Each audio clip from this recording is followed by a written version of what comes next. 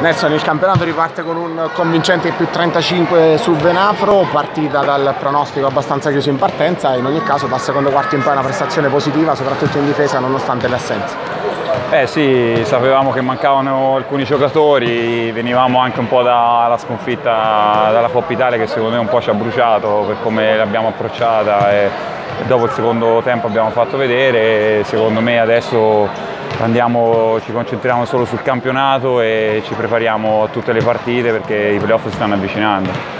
Prossima trasferta sul campo di Cassino, di sicuro un test probante già in prospettiva playoff per la caratura dell'avversario, nonostante abbia perso stasera in casa contro Scauri e, la, e chiaramente anche il calore del campo uno di quelli su cui è probabile andare a giocare in trasferta appunto nella post season.